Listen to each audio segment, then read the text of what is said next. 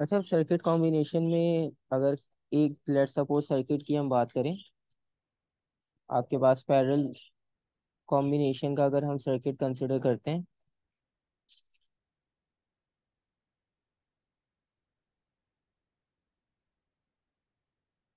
अच्छा देखो, जो सर्किट डायग्राम है ना सर्किट डायग्राम से भी आपको आइडिया हो जाएगा कि आपने जो है वो किस तरह से कंप्लीट करना होती है और कनेक्शंस किस तरह से होते हैं। क्योंकि आपको पता है, देखो कनेक्शन आपने देखे होंगे एम मीटर आपने देखा होगा और वोल्ट मीटर देखा होगा। अब नॉर्मली ये होता है कि एम मीटर में जो है वो दो नॉब्स थी। मैं दोबारा भी दिखा देता हूँ एक मिनट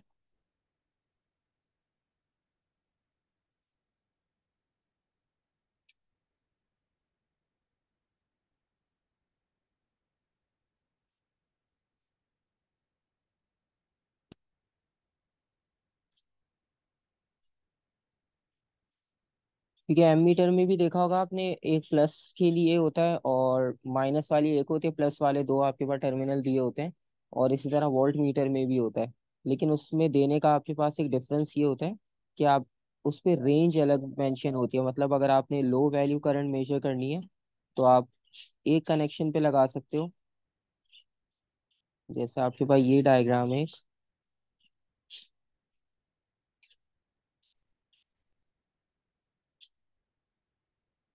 ठीक है, अब आप इस डायग्राम में देखो।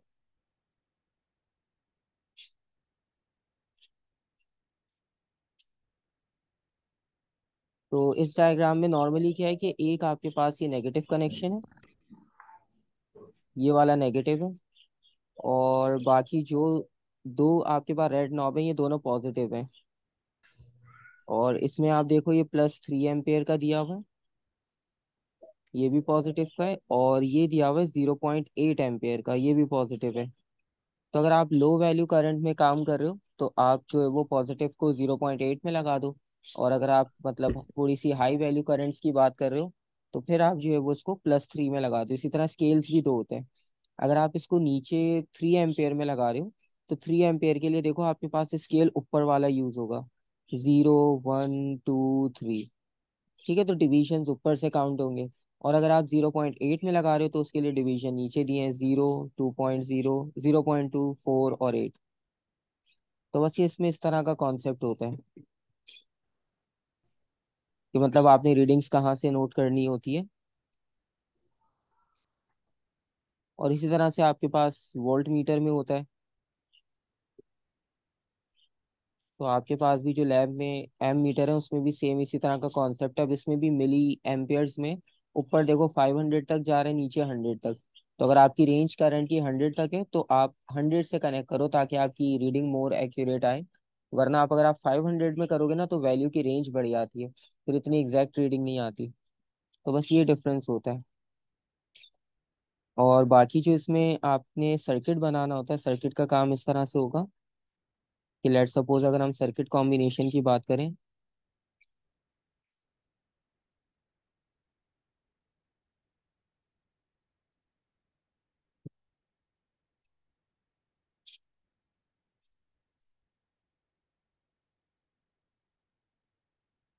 अब इसमें सीरीज़ और पैरल बहुत इंपॉर्टेंट होता है, याद रखना। और इसमें थ्योरी का भी कुछ बेसिक्स याद होने चाहिए तो थोड़ा सा और सर्किट इजी हो जाएगा। जैसे अगर आप पैरल कॉम्बिनेशन बना रहे हो तो पैरल कॉम्बिनेशन में कौन सी क्वांटिटी सेम रहती है? वोल्टेज या इलेक्ट्रिक करंट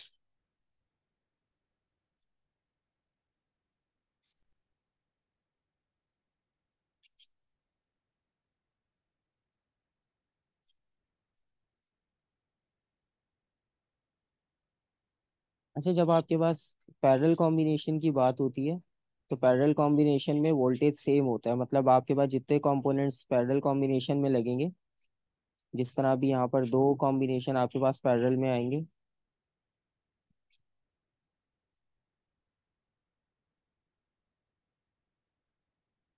अब इसके बीच में कंपोनेंट्स लगा देते हैं और कंपोनेंट्स आपके पास एक वोल्ट मीटर आ गया यहाँ पर और यहाँ पर जो है वो रजिस्टर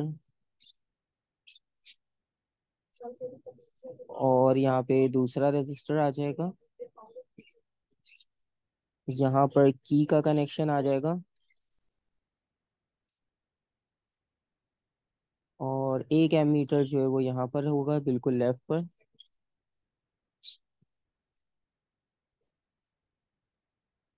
तो ये आपके पास वोल्ट मीटर है, ये एम मीटर है और बाकी जो यहाँ पर वैल्यूज़ फ्लो करेंगी, वो वैल्यूज़ इस तरह से होंगी कि यहाँ से वैल्यू इलेक्ट्रिक करंट की होगी। अच्छा देखो, अब इसमें कनेक्शन इस तरह से होता है, बिल्कुल स्टार्ट से अगर आप बनाओ तो ये आपके पास आ गई बैटरी प्लस माइनस। तो सबसे पहले आपका जो कनेक्शन स्टार्ट होगा, वो पॉजिटिव से स्टार्ट होता है। तो आप कनेक्शन बनाना शुरू करोगे पॉजिटिव से। अब देखो, ये सर्किट डायग्राम है आपके पास। तो हमने सबसे पहले पॉजिटिव टर्मिनल से कनेक्ट किया बैटरी के और उसको कनेक्ट कर दिया की से। अच्छा की का काम ये होता है कि आपको बार बार सर्किट, क्योंकि वायर्स लगी हुई हैं, उसको कनेक्ट, डिसकनेक्ट नहीं करना पड़े तो उसके लिए आप की लगाते हो। की से होता है कि की का एक टर्मिनल लगाया, आपके पास सर्किट कंप्लीट हो गया और टर्मिनल निकाला तो सर्किट आपके पास डिसकनेक्ट हो जाएगा। तो पॉजिटिव से लगाया। अब आपने देखो, सर्किट डायग्राम से इजी ये हो जाता है कि देखो, एक टर्मिनल जा रहा है पॉजिटिव का की के साथ। की में आपने देखा है नॉर्मल दो कनेक्शंस होते हैं। तो एक को कनेक्ट कर दिया की के साथ और की का दूसरा कनेक्शन जा रहा है एम मीटर तो जो एम मीटर का पॉजिटिव टर्मिनल होगा, उसमें लगाना है। पॉजिटिव टर्मिनल आपने देखे थे, अभी दो होते हैं। तो जो भी आपकी रेंज है तो जो रीडिंग्स आई होंगी करंट की उसके अकॉर्डिंगली आपको आइडिया हो जाएगा कि हमने ज़ीरो पॉइंट वाले में लगाना है या थ्री एम्पेयर वाले में लगाना है। तो अब जैसे यहाँ पर पॉजिटिव से बैटरी के कनेक्शन आया था तो आपने उसको एम मीटर के पॉजिटिव में ही लगाना है। ठीक है, फिर नेगेटिव जो होगा एम मीटर का वो आगे चला जाएगा। अब यहाँ पर जो है वो डबल कनेक्शन है। अब नेगेटिव पर एक कनेक्शन जो है वो इनके साथ जाएगा, रजिस्टर के साथ मतलब एक वायर आप नेगेटिव से निकालोगे और उसके आगे आप दो वायर्स और लगा दो तो एक कनेक्शन से दो बन जाएँगे, ब्रांच की तरह बन जाएगी वो। तो एक करंट आपके पास यहाँ फ्लो करेगा। अब ये दो कनेक्शंस बनाने का रीजन ये आप यहाँ पर यूज़ कर रहे हो पैरेलल कॉम्बिनेशन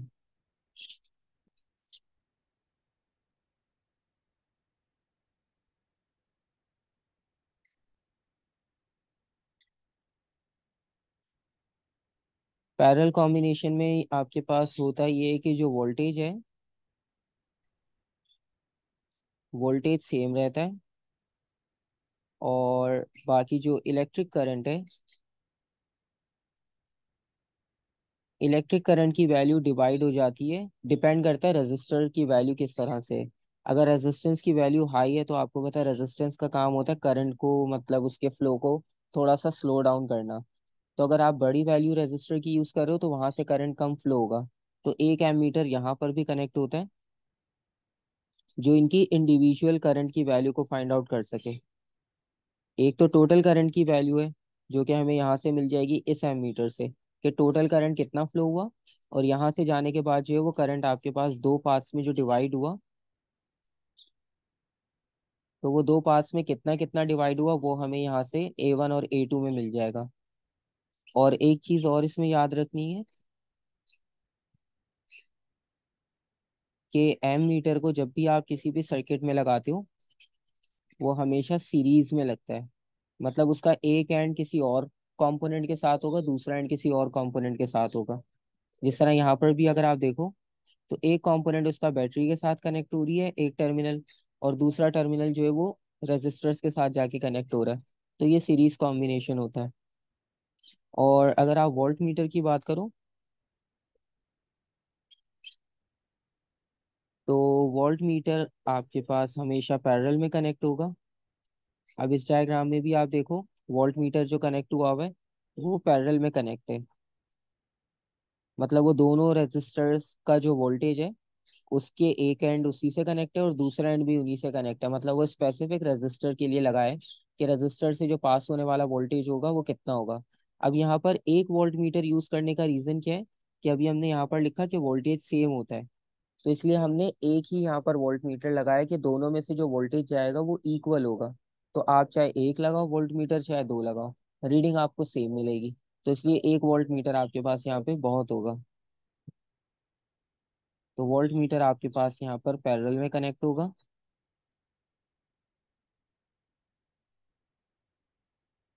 तो ये आपके पास हो गया एम मीटर और वोल्ट मीटर का कनेक्शन। अच्छा देखो थोड़ा सा तो आपको लगेगा मुश्किल क्योंकि फ़र्स्ट टाइम कर रहे हो और परफॉर्म भी इतना एक्यूरेट नहीं किया हुआ, लेकिन इतना ज़्यादा कोई वो नहीं है। आपके पास पैरेलल कॉम्बिनेशन है, आप पहले दो रजिस्टर जो है वो उनके टर्मिनल्स कंबाइन कर लो।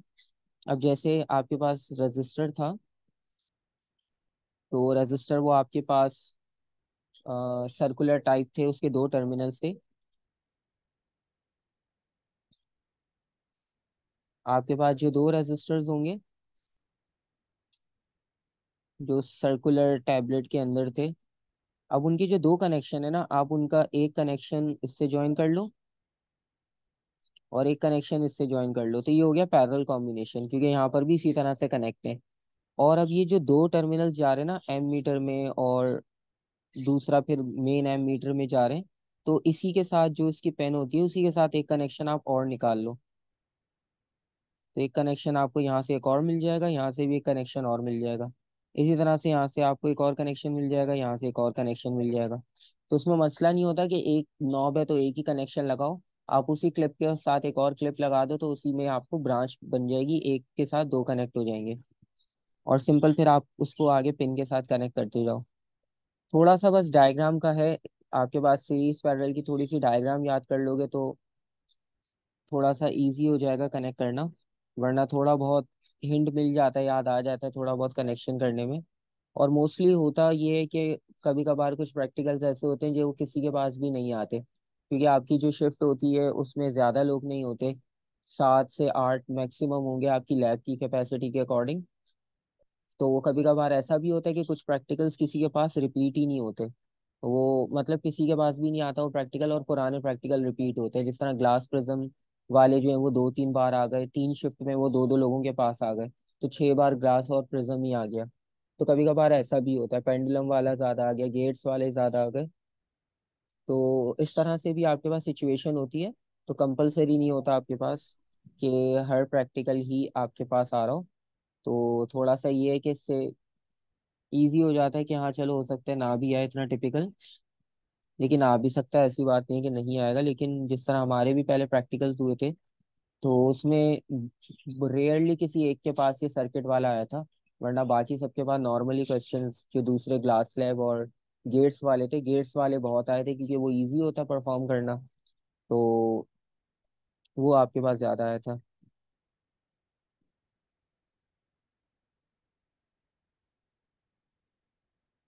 अच्छा ये तो आपके पास पैरेलल कॉम्बिनेशन का सर्किट हो गया। इसी तरह से आप सीरीज़ कॉम्बिनेशन का सर्किट देखोगे तो सीरीज़ कॉम्बिनेशन में आपके पास ये दो रजिस्टर जो पैरेलल में थे, वो सीरीज़ में आ जाएँगे। तो उसकी भी डायग्राम आप अपने सामने रख के एक बार उसके कनेक्शंस को देखोगे तो आपको आइडिया हो जाएगा कि कनेक्ट किस तरह से करना है। अब जिस तरह, अगर उसका भी एक बार कनेक्शन बता दूँ ठीक है, इसके बाद मैं गेट्स वाला बता दूँगा, क्योंकि गेट्स वाला इजी है। तो इसके बाद हम गेट्स वाला कर लेंगे। अच्छा सीरीज़ कॉम्बिनेशन भी साथ ही बता देता हूँ इसमें।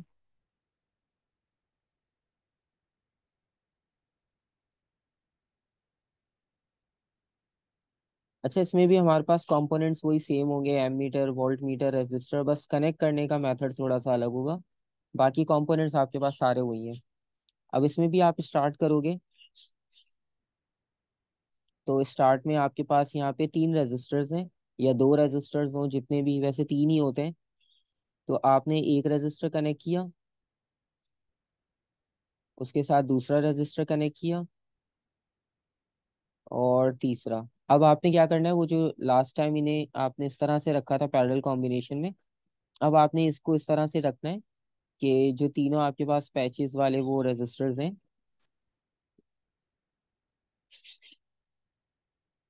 आपने एक रजिस्टर का रखा, वहाँ पे टैबलेट दूसरा रखा और तीसरा रखा। और तीनों को आपने अब सीरीज़ में ज्वाइन करना है तो सीरीज़ में ज्वाइन करने का मतलब ये कि इनके जो दो दो टर्मिनल्स होंगे, उसको एक के साथ एक मतलब सीरीज़ कॉम्बिनेशन का मतलब होता है पूरी चेन बनती है। अगर एक भी कनेक्शन ब्रेक हुआ तो पूरा सर्किट बंद हो जाता है। तो नॉर्मली आप इसमें, इसको इससे कनेक्ट करोगे, इसको इससे कनेक्ट करोगे तो ये आपके पास सीरीज़ में कनेक्ट हो गए। और बाकी कनेक्शंस अभी देखते हैं कि किसके साथ आपके पास ज्वाइन होंगे।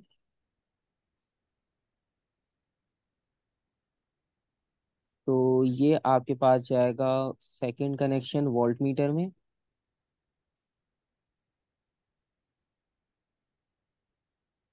ये आ गया यहाँ पे हमारा वोल्ट मीटर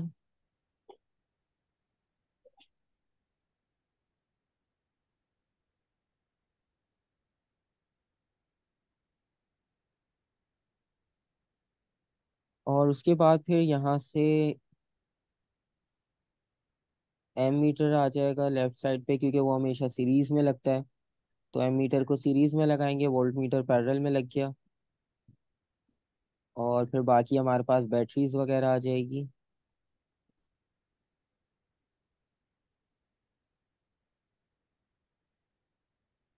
पहले की कनेक्ट कर देंगे यहाँ पर।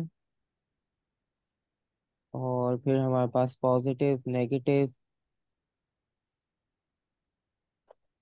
फिर बाकी कनेक्शन आपके पास। तो ये आपके पास कनेक्शन हो गया और ये वोल्ट मीटर आ गया, ये एम मीटर आ गया। रजिस्टर्स आ गए तीनों R one R two R three तो ये आपके पास सारे रजिस्टर हो गए। अच्छा कुछ पूछना है शुएब जी सर मुझे पूछना था कि करंट सीरीज़ के अंदर करंट सब में सेम होता है ना? सेम होता है सब में। सर लेकिन ऑब्जर्वेशन जो चार्ट इसके अंदर दिया हुआ है ना जर्नल के हम्म। अंदर हम्म। इसके अंदर एक करंट वन दिया हुआ है एक करंट टू भी दिया हुआ है और दोनों अच्छा। डिफरेंट है। अब उसमें होता ये है कि अब इसमें ना हम करंट की वैल्यू को अलग अलग उस पे रख के चेक करते हैं कि अगर करंट की वैल्यू हम चेंज करते हैं तो ऑब्जर्वेशन क्या आ रही है? तो वो इस तरह से होता है। कि करंट की वैल्यू जो है वो इनिशियल जिस तरह अगर आपके पास बैटरी नहीं है तो पावर सप्लाई लगी होती है। पावर सप्लाई से होता है कि आप वोल्टेज की वैल्यू इंक्रीज डिक्रीज कर सकते हो। तो फिर करंट की वैल्यू थोड़ी सी चेंज हो जाती है। लेकिन जो एक बार आपको करंट की वैल्यू मिल जाए इनिशियली तो वो फिर आपके पास सेम रहती है। एक बार जो स्टार्ट में आपको करंट की वैल्यू मिल गई तो वो पूरे कनेक्शन में फिर आपके पास सेम चलती है। तो वो इस तरह से वैल्यू चेंज होगी। अदरवाइज़ वो आपके पास वैल्यू चेंज नहीं होती। क्योंकि यहाँ भी जिस तरह से एक ओके एमीटर लगा दिया हमने तो एक एमीटर लगाने का मतलब ये कि करंट आपके पास यहाँ से जो जाएगा बैटरी से वो सेम जाएगा। वो अलग बात है कि अगर आप बैटरी के साथ एक बैटरी और लगा दो तो वोल्टेज बढ़ गया तो करंट की वैल्यू भी चेंज हो जाएगी। ठीक है?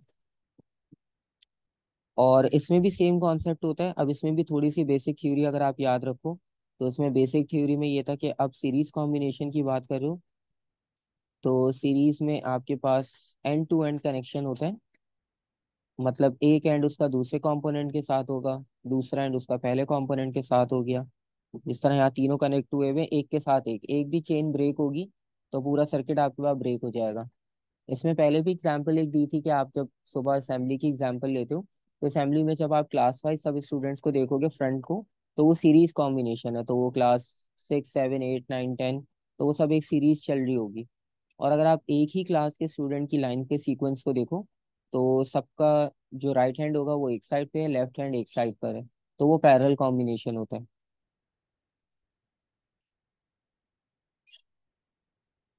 अच्छा पैरल कॉम्बिनेशन में हमारे पास एक ही वोल्ट मीटर था, बाकी एम मीटर हमारे पास तीन थे, क्योंकि वहाँ पे करंट डिवाइड होता है तो एम मीटर हमें अलग अलग चाहिए होगा।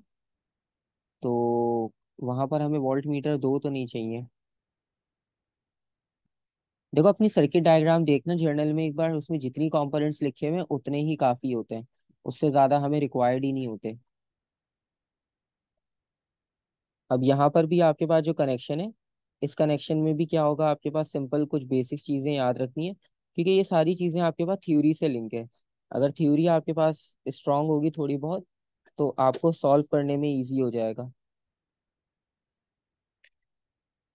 अब नॉर्मली आप इस तरह से देखो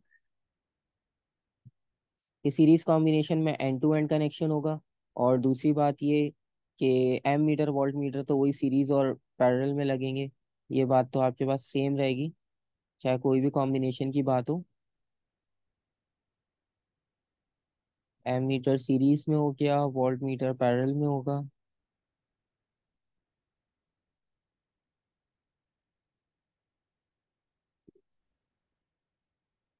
और अब सीरीज़ कॉम्बिनेशन में जो करंट होगा करंट रहेगा आपके पास सेम क्योंकि इसमें सब एक ही लाइन में कनेक्ट है तो करंट आपके पास सबसे इक्वल ही पास होगा. और वोल्टेज की अगर हम बात करें सर जी। सर आपने कहा एम मीटर जो है वो सीरीज़ में होगा तो सीरीज़ हम्म। किस चीज़ के सीरीज़ में होगा? रेजिस्टेंस के सीरीज़ में हाँ अब इसमें देखो सीरीज़ का मतलब ये है कि अभी जिस तरह पैरेलल कॉम्बिनेशन में भी देखा कि इसका एक पॉजिटिव टर्मिनल आपने की के साथ साथ कनेक्ट किया है ठीक है? और नेगेटिव टर्मिनल रेजिस्टर्स के साथ चला जाएगा। तो ये सीरीज़ कॉम्बिनेशन हो गया इसका। तो करंट इसमें आप देखो वन डायरेक्शन फ्लो कर रहा है इस तरह से। अब आप वोल्ट मीटर को देखो ना तो वोल्ट मीटर का एक टर्मिनल आपने जो है वो यहाँ पर कनेक्ट किया हुआ है रजिस्टर से और दूसरा टर्मिनल भी रजिस्टर से कनेक्ट हो रहा है। उसका कॉम्बिनेशन एक ही कंपोनेंट के साथ है स्पेसिफिक क्योंकि पोटेंशियल डिफरेंस का आपको कॉन्सेप्ट पता है कि वो हाई और लो पोटेंशियल को फाइंड uh, आउट करते हैं कि डिफरेंस कितना है। तो इसलिए उसको एक ही कंपोनेंट के साथ लगाया जाता है कि जब उसमें करंट एंटर होगा तो इनिशियल पोटेंशियल उसका कितना होगा और फाइनल कितना होगा। फिर उसका जो डिफरेंस होता है उसको हम पोटेंशियल डिफरेंस कहते हैं। ठीक है? जी सर। और बाकी जो छोटी छोटी ये चीज़ें हैं वो तो आपके पास वोल्ट मीटर करंट वोल्टेज वाली ये सारी चीज़ें बेसिक थ्योरी में भी ये सब चीज़ें आती है कि कहाँ पर कौन सी क्वांटिटी सेम रहती है। तो इसमें इंपॉर्टेंट ये है कि दो तीन बार आप सर्किट बनाओ खुद से पेपर पे एक बार ठीक है? उससे आपको ये होगा कि कनेक्शन एटलीस्ट याद हो जाएँगे। और कनेक्शन को इतना मुश्किल नहीं है सर्किट डायग्राम उसमें बनाने को जब आएगी, अगर ये प्रैक्टिकल आता है तो सर्किट डायग्राम भी आपने ड्रॉ करनी होती है। तो सर्किट डायग्राम जो है वो ड्रॉ करनी होती है और सर्किट डायग्राम जब आप प्रैक्टिस करोगे तो उस सर्किट डायग्राम को सामने रख के ना एक एक कॉम्पोनेंट रखते जाओ। जिस तरह सबसे पहले आपने की को रखा यहाँ पर तो आपने सबसे पहले की को रखा अपनी टेबल पर, क्योंकि की में आपको पता है दो कनेक्शन होते हैं। ठीक है अब की के साथ देखो आ, बैटरी जा रही है तो बैटरी आप यहाँ पे कनेक्ट कर दोगे। अच्छा की में प्लस माइनस का कोई कॉन्सेप्ट नहीं होता इसका काम स्विच वाला होता है कि सर्किट कंप्लीट करना और ब्रेक करना।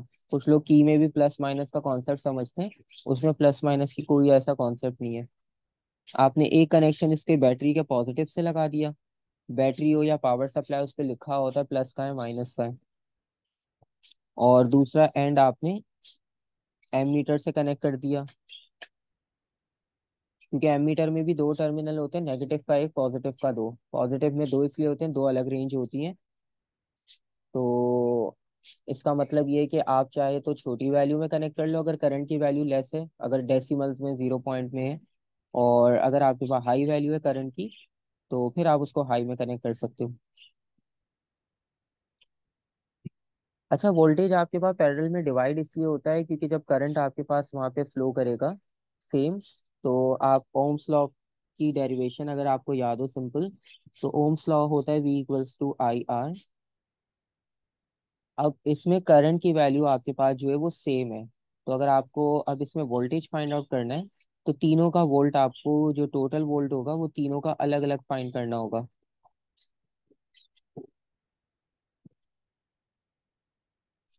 सिंपल आपके पास ये हो जाएगा I over R one plus I over R two sorry V is equals to I R है ये आई आर के इक्वल होगा। तो वी वन इक्वल होगा I one R one plus I R two क्योंकि करंट की value series में same होती है, और आर थ्री तो ये जो डेरिवेशन थी, वो इसीलिए की थी आपने कि आपके पास जो कॉम्बिनेशंस होते हैं, वो आप इसके अकॉर्डिंगली फाइंड कर सकते हो। तो पैरेलल कॉम्बिनेशन में जो करंट की वैल्यू होती है, वो सेम जाएगी। और जो वोल्टेज की वैल्यू है, वो डिवाइड हो जाती है। क्योंकि वोल्टेज आपके पास जो है, वो दोनों एंड्स के जो कनेक्शंस होते हैं, उनका डिफरेंस फाइंड आउट करता है कि मतलब स्टार्टिंग जो आपके पास वैल्यू थी तो बैटरी भले कनेक्ट हो बैटरी तो हर बार सोर्स एक ही कनेक्ट होता है। लेकिन क्योंकि अब करंट वहाँ से फ्लो करके जब रजिस्टर्स के थ्रू फ्लो करेगा तो आपके पास होगा ये कि स्टार्टिंग में जब इस टर्मिनल पे एंटर होगा वो करंट तो स्टार्टिंग में आपके पास वोल्टेज की वैल्यू हाई होगी। और जब वो इतने सारे रजिस्टर से पास होकर जाएगा तो उसकी इंटेंसिटी थोड़ी सी लो हो जाएगी। चार्जेस अगर आपके पास हंड्रेड थे, वो सारे हंड्रेड चार्जेस ही मूव करेंगे। वो आर वन से भी जाएँगे आर टू से भी जाएँगे आर थ्री से भी जाएँगे। लेकिन बस होगा ये कि उनकी थोड़ी सी इंटेंसिटी कम हो जाएगी। तो इंटेंसिटी कम होने की वजह से जब वो आपको दूसरे टर्मिनल पे मिलेंगे और जो पहले टर्मिनल से पास हुए थे तो वो आपके पास ओवरऑल वोल्टेज होगा कि टोटल वोल्ट कितना आया। अगर आप चाह रहे हो कि तीनों का फाइंड करना है तो तीनों में आपको अलग अलग वोल्ट मीटर कनेक्ट करने होंगे। इसके साथ आप अलग अलग कनेक्ट करोगे और दूसरे के साथ आप अलग वोल्ट मीटर कनेक्ट करो और तीसरे के साथ अलग कनेक्ट करो।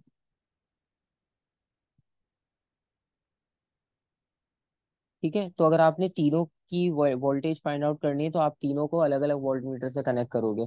अदरवाइज़ होता ही है कि अगर आपने ओवरऑल फाइंड आउट करने तो आप एक वोल्ट मीटर लगा दो, आपको टोटल वैल्यू मिल जाएगी। ठीक है, ये वाली वैल्यू लेकिन इंडिविजुअल की वैल्यू वो सेम नहीं होगी, क्योंकि इस बार सीरीज़ कॉम्बिनेशन है। तो भाई ये डिफरेंस होता है इसमें। तो हमारे पास जो इसमें वोल्टेज आएगा, वो तीनों का कंबाइंड वोल्टेज होगा।